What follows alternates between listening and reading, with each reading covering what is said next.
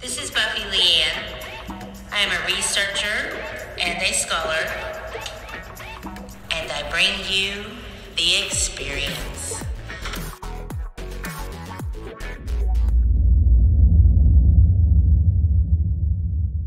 They're still hid. They're, they're still hid. They're everywhere. Yeah, you can go down Sequoyah Hills and the main boulevard, and there's Indian mounds in the, they didn't destroy them or anything, they just left them in the center meridian, whatever you wanna call it.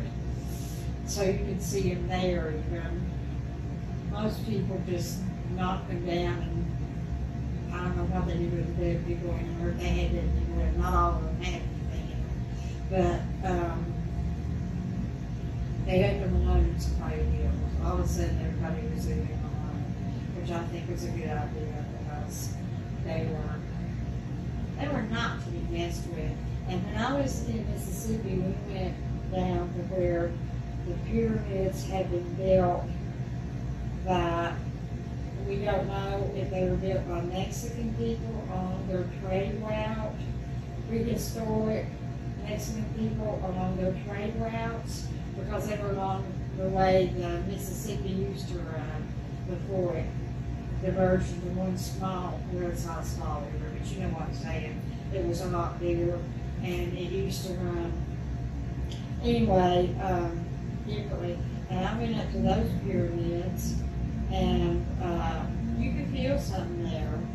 There was something, there was a power there. I walked all the way up to them, they were real high up there. Have you ever been to the Greenback Castle? No, There's a Greenback Castle that's not far from the ancient Star Forts on Fort Lake. oh, really? Yes, some of it, it's not even enclosed. It looks, some of it looks like ruins, some of it, he, the man that, that owns it Uh-uh. said that he built it all, but you can tell a difference. Some of it is very well done, Uh-huh. very good Masonic work, and then a lot of it is just sloppy, slapped together. Yeah, So you know you can tell yeah, this that this could either be a remnant yeah, from an ancient civilization. yeah. He says that um, he says that NASA come in, Uh-huh, TVA come in, uh-huh. and I mean it's been it's been pretty much buried. Anything like the Melungeon Yeah, people, anything that's been buried, there's something to be said about what's going yeah, on. yeah. Yeah, Completely. And I know you worked for Old Lake Shore yeah, one time, yeah, Eastern State. Eastern State. I'm pretty sure that that was built on ancient land. I think it was, and, um, there are tunnels all under the ground there. And, uh, stories that go with the tunnels about, uh, one doctor I used to go to was, uh, he did his residency there, and, uh, they found, they went back in the tunnel and they found a man dead with the intake paper still on his belly. I mean, nobody had seen him since he had been admitted there. And then you had Leda Lewis who, uh, got in a fight with another woman. She was a patient wife. And she got in a fight with another woman and, uh, they put her, they didn't, they put them together in one of those rooms under the tunnels and they came back and they forgot to feed them. And they came back to feed them and they didn't They cracked open the woman's skull and was eating her brains. She was one of my patients and she was a trip. She Oh, was wow. really lady. And she was in her sixties. I, I did it with the old people and she was in her sixties and, um, good thirty. And she was like Melungeon or something, real dark hair, big dark eyes. She was she was dark skinned kind of. Uh, she was dangerous.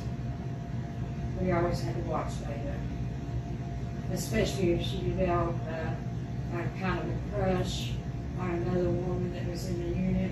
We had to really watch then because we didn't know whether she would snatch her up and beat her senseless or what she might do. What types of things did you see? Did you ever go in the tunnels? No, I never went in the tunnels. Um, we were we weren't really allowed to go in the tunnels. There was an entrance to the tunnels up on the hill where the original building stood, which was kind of a museum. I guess it's not there anymore, but um, there was an entrance to the tunnels there.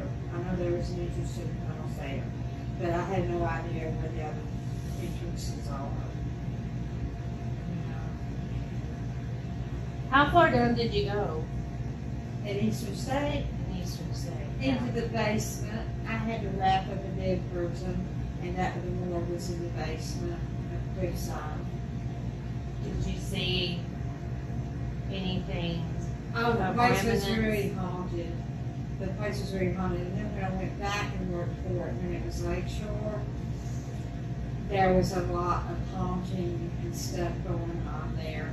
We were working through the snow, and I went to the bedroom that nobody ever put anybody in, and I laid down on the bed and I went to sleep, I noticed somebody was standing over me. And I thought John had come in the room to take a nap too, because there were four of them bed. And I said, John, your bed's over there. And I said that two or three times, and uh, I went back to sleep. Well, I asked him about it later, and he said he hadn't been in there.